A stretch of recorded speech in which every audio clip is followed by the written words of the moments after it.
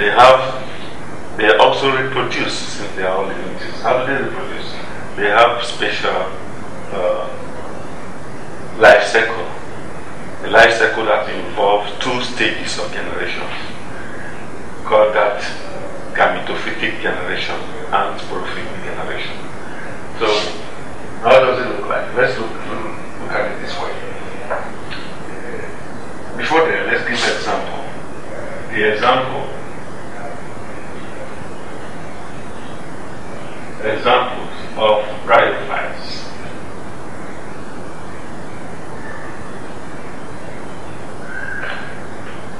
We have moss and liverworts. The liverworts are also known as Marchantia. Marchantia. Now, they reproduce both sexually and asexually.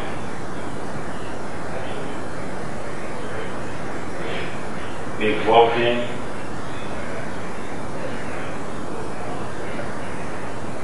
two alternating generations.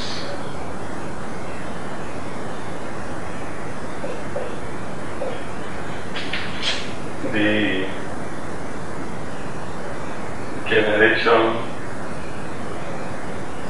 of gamete production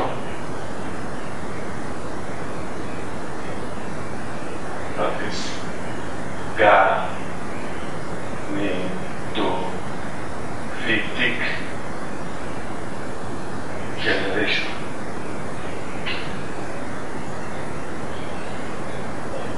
And the generation.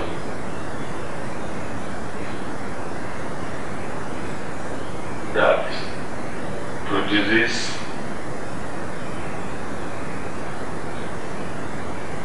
gametes, sorry, spores, spores.